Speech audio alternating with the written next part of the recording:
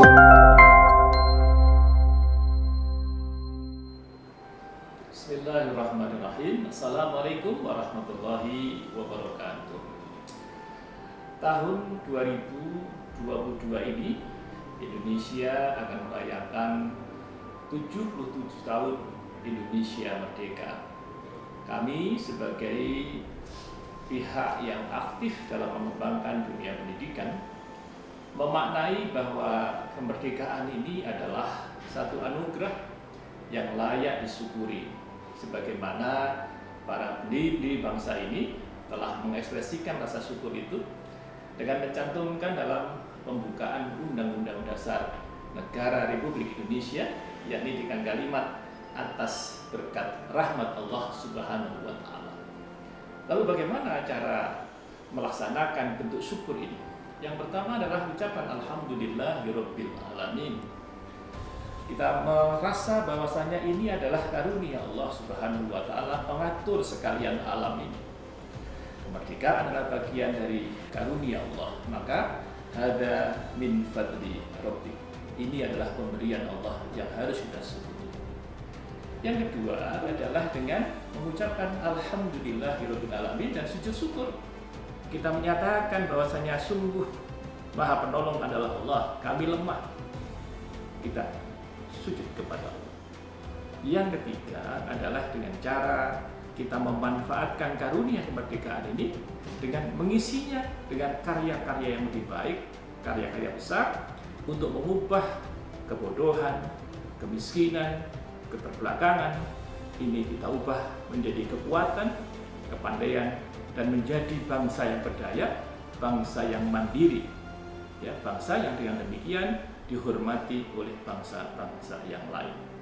Insya Allah dengan kita punya persepsi yang benar tentang cara mengekspresikan bentuk syukur, maka kita akan bisa melaksanakan melaksanakan pembangunan Indonesia menjadi lebih baik.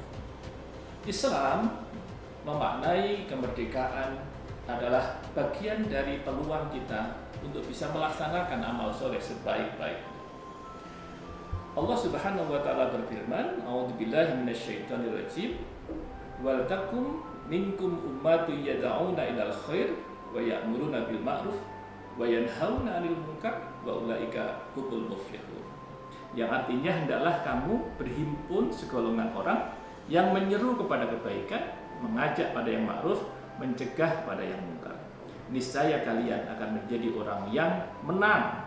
Kalian menjadi orang yang beruntung kalian akan menjadi orang yang merdeka, yang sukses kata Allah. Jadi kalau kita ingin memaknai kemerdekaan adalah isilah dengan upaya-upaya mengajak berbuat baik dan mencegah berbuat mungkar.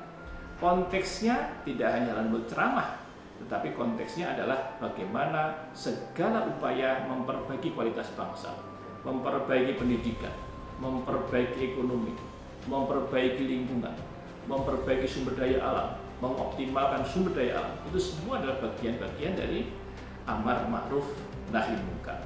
Makna ini penting dipahami oleh kita semua agar apa?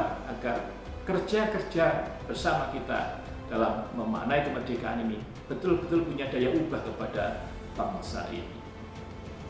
Aksi-aksi positif kita di dalam rangka untuk mengisi kemerdekaan ini bisa kita lakukan sesuai dengan talenta kita masing-masing, bidang keahlian kita masing-masing.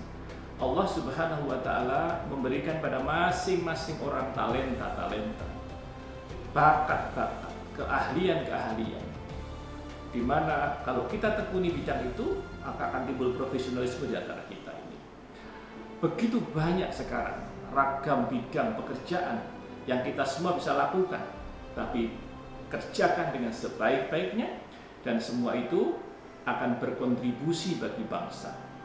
Perguruan Islam Rodatul Jannah yang memang menekuni bidang pendidikan ingin memaknai kemerdekaan ini dengan cara bagaimana mengelola pendidikan ini sebaik-baiknya.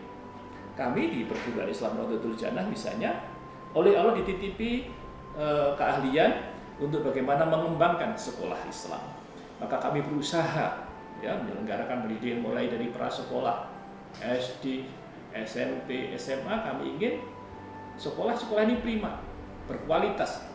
bisa meluruskan anak-anak yang berbudi dan berprestasi, anak-anak yang luhur budi, kaya prestasi. Yang dengan begitu maka ini sumbangsih untuk bangsa. Dan insya Allah kalau e, kualitas anak-anak bangsa ini baik, maka kita akan e, dihormati oleh bangsa-bangsa lain sejajar dengan bangsa-bangsa terhormat di seluruh dunia. Demikian, Assalamualaikum warahmatullahi wabarakatuh.